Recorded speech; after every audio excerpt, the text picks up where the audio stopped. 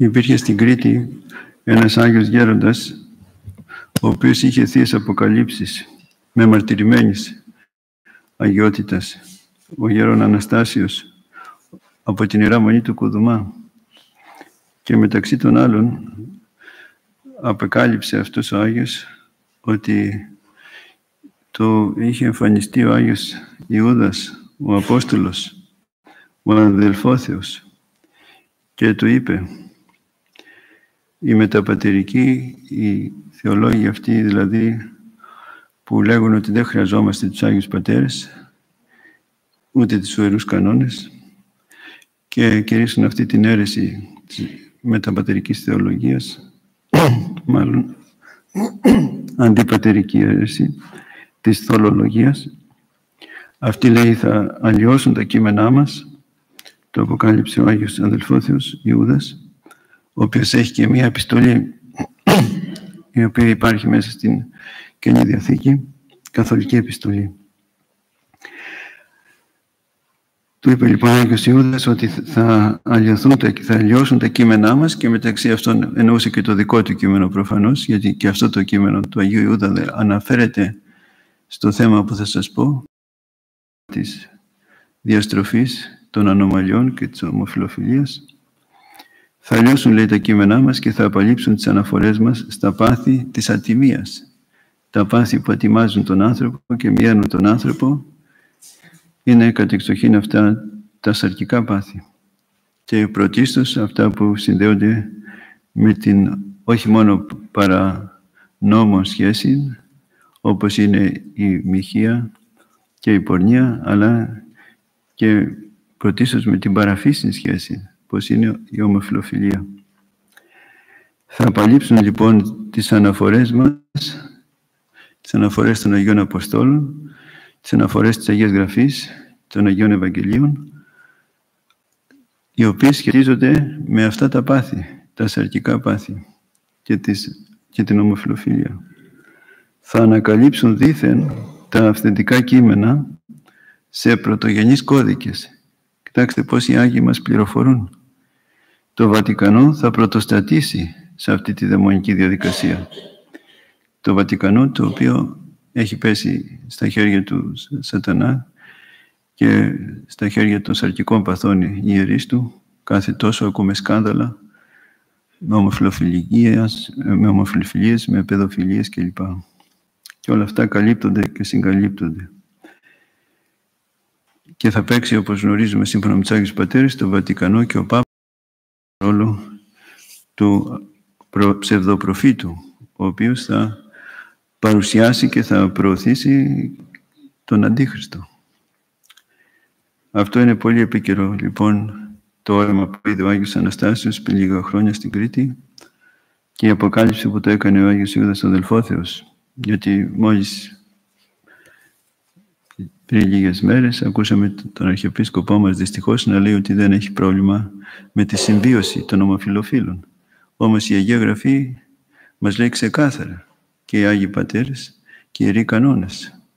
Από την Παλαιά Διαθήκη ακόμα βοά ο Θεός ότι αυτό το αμάρτημα είναι ευδελικτό, είναι μισητό.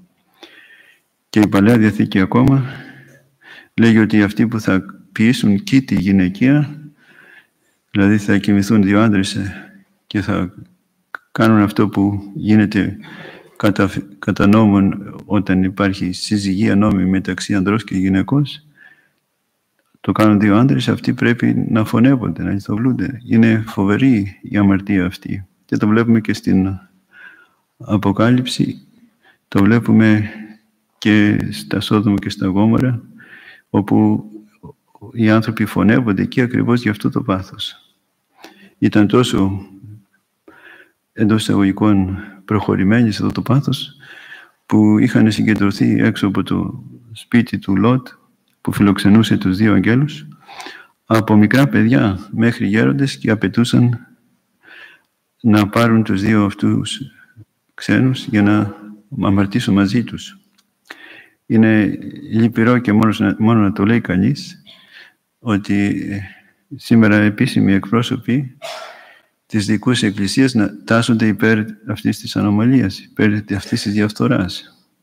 Εμείς οφείλουμε να λέμε την αλήθεια και θα τη λέμε προς πάσα κατεύθυνση και να εφιστούμε την προσοχή σας, να είστε σε γρήγορση πνευματική, γιατί γίνεται μια συστηματική εκστρατεία.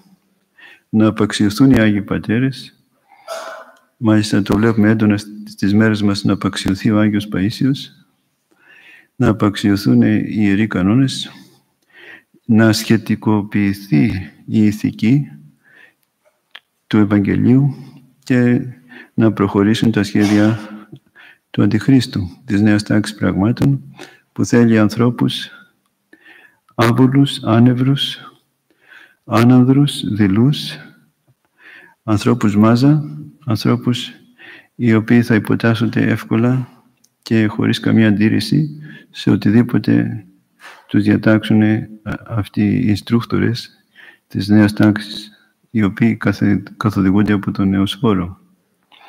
Αυτά ήθελα να πω σήμερα στην αγάπη σας και να κάνουμε όλη προσευχή για να ορθοτομούν και ο Αρχιεπίσκοπος και οι επίσκοποι μας το λόγο της αληθείας και να μην γινόμαστε δούλοι του κόσμου και των αρχόντων του κόσμου τούτου και να μην χάσουμε την πίστη μας και την ηθική μας. Γιατί είναι και αυτό μια μορφή αίρεσης. Η αίρεσης δεν είναι μόνο στο δόγμα, είναι και στο ήθος. Όταν λοιπόν λέγεται από επίσημα χίλια αρχιερέων ότι δεν υπάρχει πρόβλημα και ένας άλλος αρχιερέας είχε πει δυστυχώς ότι το έδωσε ο Θεός, λέει, αυτό το πάθος, αυτή την έλξη προς το άλλο φίλος, δηλαδή ο Θεός δεν υπάρχει, δεν είναι αμαρτίες, αν είναι δυνατόν. Πόσο μεγάλη βλασφημία είναι αυτό. Και ότι ο κορυφαίος σήμερα στην δικούσα εκκλησία μας δεν έχει πρόβλημα με τη συμβίωση, αυτά είναι πολύ λυπηρά και μόνο να, να ακούγονται. Αλλά οφείλουμε να τα καταγγέλουμε και να παρακαλούμε το Θεό να μας γλιτώνει από αυτό τον κατήφορο που έχουμε πάρει, να μας σταματήσει από αυτό το κατήφορο, να παρέμβει. Γιατί ανθρωπίνος δεν φαίνεται φως. Έχουν καταλάβει δυστυχώς τις ηγεσίες αυτοί οι άνθρωποι σκοτεινοί, οι οποίοι κάθε άλλο παρά έχουν την πίστη τους στον αληθινό Θεό και στην ηθική. Ας προσευχόμαστε λοιπόν, αλλά και ας επαγρυπνούμε. Η ομιλία μας θα γίνει εδώ σε περίπου μισή ώρα.